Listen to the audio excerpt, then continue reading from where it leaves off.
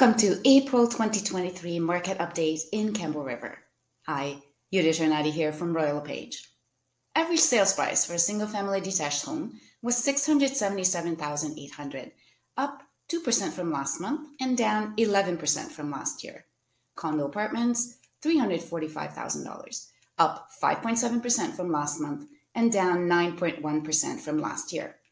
Attached townhomes, 533,500, up 0.6% from last month and down 3.6% from last year.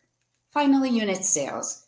They're down 47 in April compared to 75 in March and 45 in April of 2022. I would like to read you something from the media release of the Vancouver Island Real Estate Board.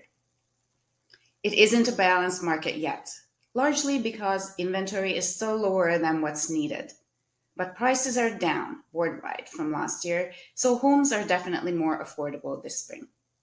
I hope you like this presentation.